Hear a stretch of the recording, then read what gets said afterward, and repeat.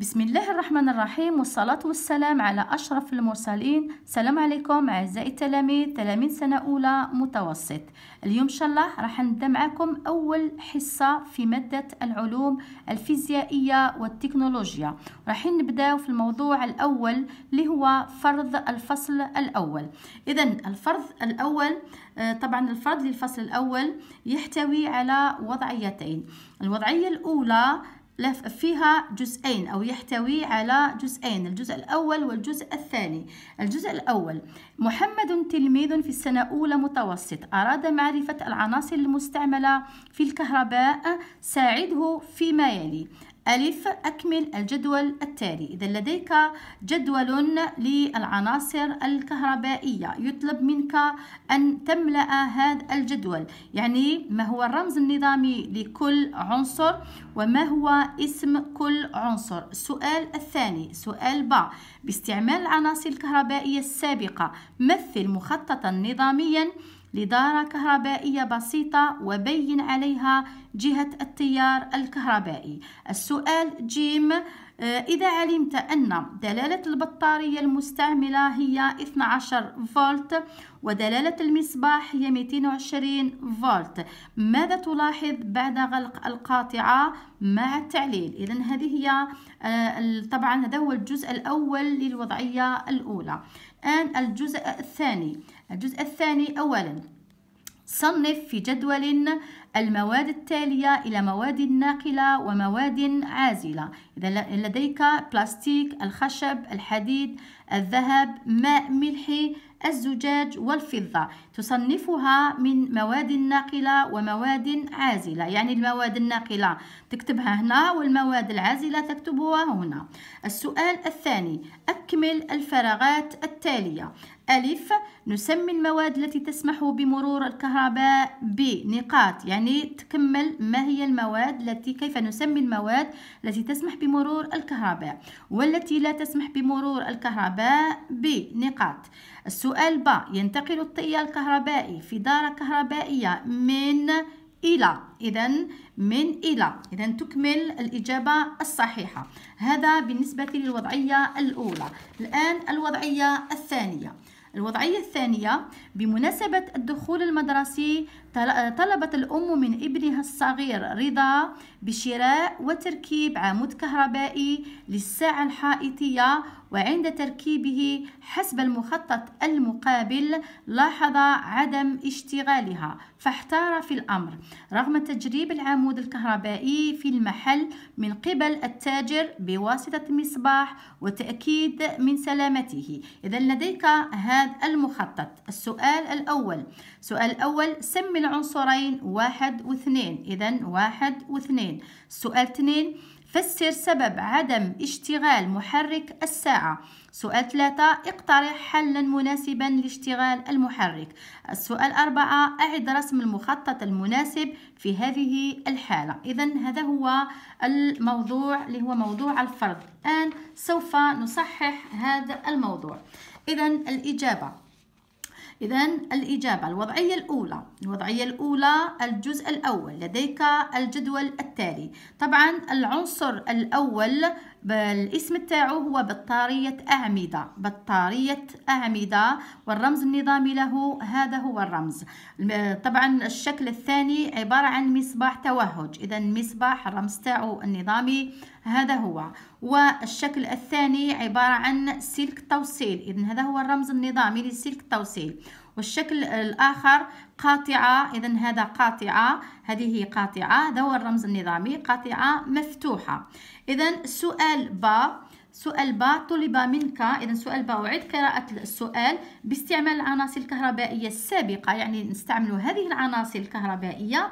مثل مخططا نظاميا لدارة كهربائية بسيطة وبين عليها جهة التيار الكهربائي. طبعا آه نأخذ هذه العناصر الكهربائية ونمثل بها مخطط نظامي. لدينا هنا بطارية أعمدة أو مولد.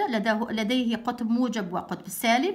هنا توجد قاطعة وأسلاك. طبعا هذه أسلاك توصيل وهنا مصباح كهربائي. إذا هذه هي هذا هو التمثيل. ثم سؤال جيم.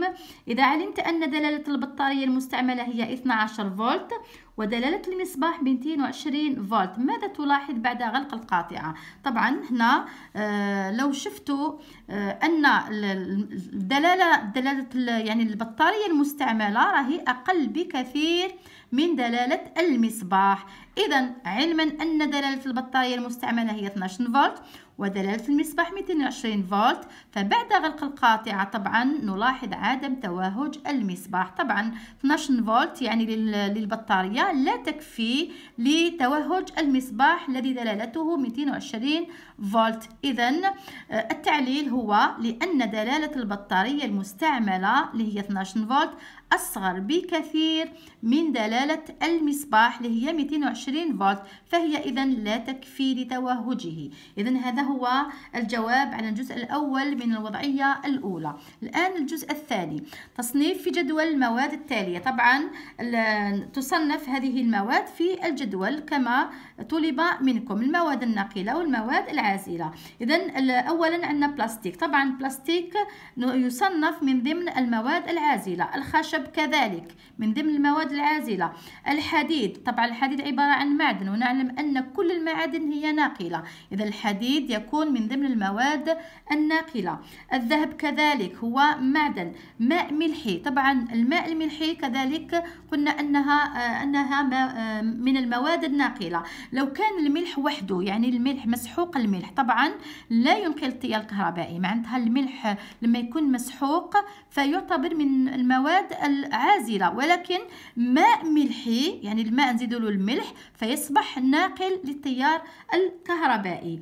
الزجاج من العوازل الفضة من النواقل. طبعا كل المعادن هي ناقلة للكهرباء.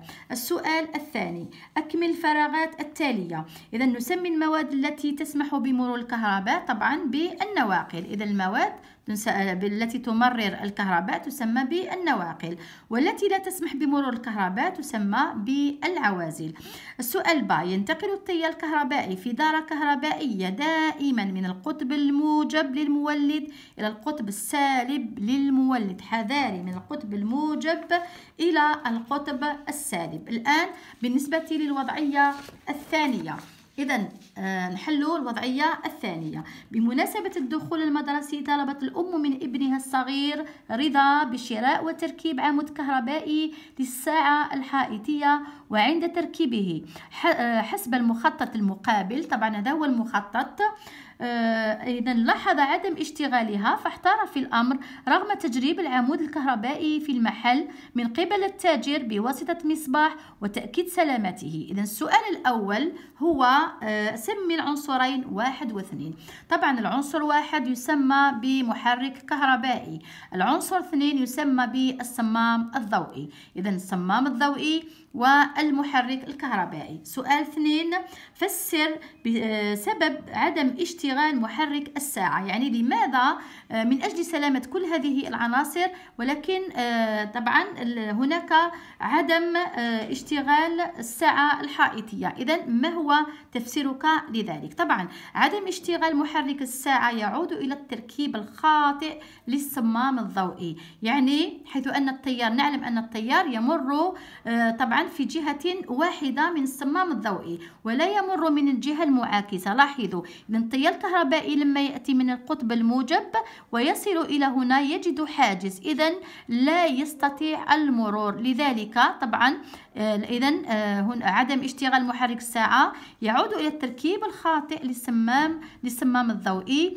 حيث أن التيار لا يمر في الجهة المعاكسة له. إذا السؤال آه، رقم ثلاثة آه، اقترح حل مناسبا لاشتغال المحرك. طبعا لكي يشتغل هذا المحرك هناك طريقتين. إما أننا آه، نقلب الصمام الضوئي أو نقلب قطبي المولد. إذا هناك طريقتين. إذا الحل المناسب لاشتغال المحرك هو إما أن نقلب أقطاب المولد أو قطبي المولد مثل هذا الشكل. إذا هنا قلبنا قطبي المولد. هنا كان عندنا الموجب الموجب هنا والسالب هنا حنا قلبناه. اذا لما قلبنا قطبي المولد شدة التيار دائما جهتها من القطب الموجب نحو السالب. اذا تمر شدة التيار من هنا ولا تجد الحاجز يعني لا يمنعها الحاجز لكي تمر شدة التيار. وبالتالي فسوف يؤدي إلى تحريك أو دوران المحرك أو تشغيل المحرك. أو أننا يمكن أن نقلب الصمام الضوئي. إذا نقلب الصمام الضوئي لكي عندما تمر شدة التيار إذا طبعا من الموجب وتأتي إلى آه، الصمام فلا تجد الحاجز هنا. وبالتالي شدة التيار تمر ويشتغل المحرك الكهربائي. طبعا السؤال الأخير أعد رسم المخطط المناسب في هذه الحالة؟ طبعا هذا هو هناك مخططين مناسبين لاشتغال المحرك الكهربائي. إذن هذا هو الموضوع تاعنا تاع اليوم. يعني آه، موضوع اللي هو فرض آه، للفصل الأول. إن شاء الله تكونوا فهمتوا أبنائي. إذا إلى حصة أخرى إن شاء الله. والسلام عليكم.